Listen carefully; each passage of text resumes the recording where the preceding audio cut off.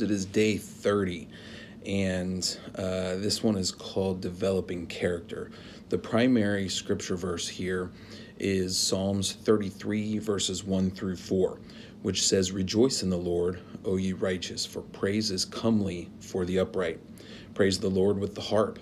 Sing unto him with the psaltery and an instrument of ten strings. And the primary verse amongst this group for the purposes of this lesson is this verse 3, which says, Sing unto him a new song, play skillfully with a loud noise. Verse 4 For the word of the Lord is right, and all his works are done in truth. Um, this, this is about teaching character to our children, and primarily what we're talking about here is um, developing spiritual gifts that our children have been given uh, through character, through hard work, through practice, through repetition. Um, we have spiritual gifts that are given to us, but they will not develop and they will not get better uh, unless we practice, unless we tr- keep trying them out, unless we put them to use. And that's just like anything else in our life. I mean, I don't think that any of us have any problem understanding the concept that if I want to play a sport, I need to practice. Um, you know, it, that that's just part of of how this goes. Um, I think because of the fact that in the in the sports context, we see what happens when we don't practice. Uh, you compete and you lose. It's easy to understand that.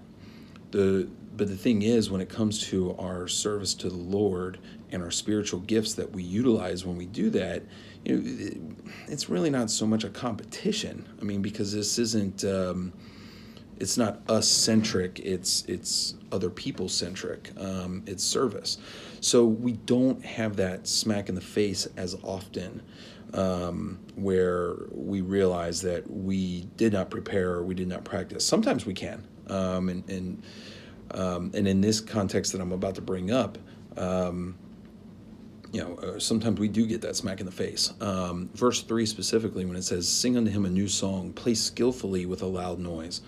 Now, this is a music and worship context that's that's being um, discussed here in Psalms 33, and that is a specific um, spiritual gift or, or type of spiritual gift um, that is focused on here. But it but the the concept is valid.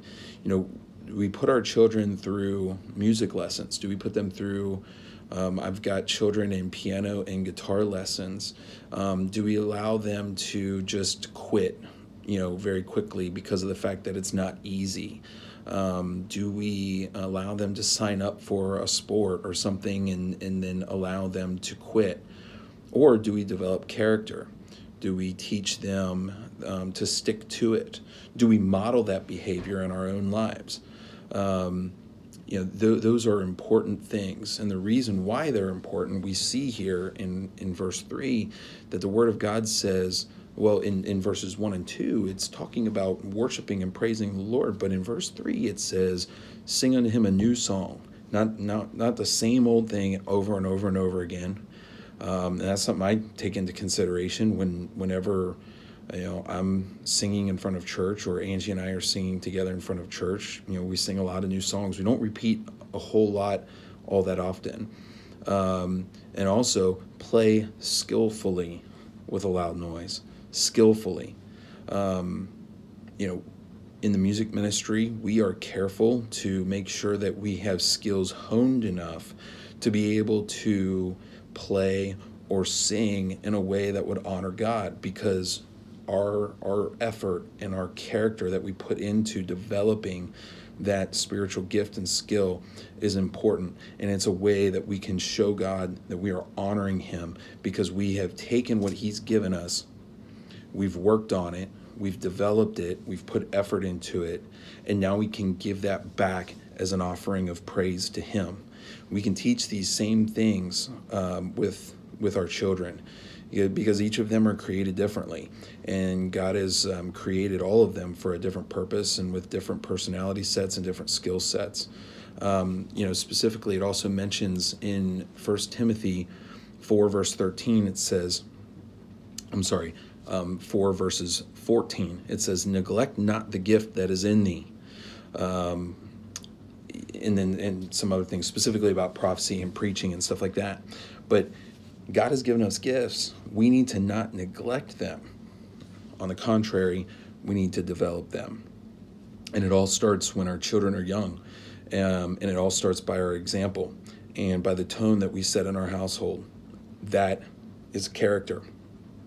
Um, there's other parts of character, but that's a piece of character specifically that's discussed today in our daily devotion.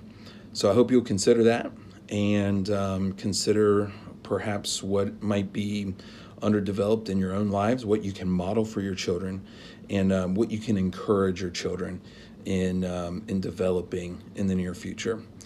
All right, folks, that's it for this week. Next week you'll have Brother Keith.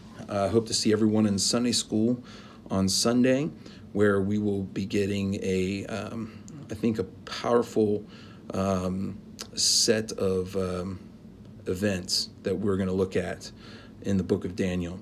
So hope to see you all then. Later.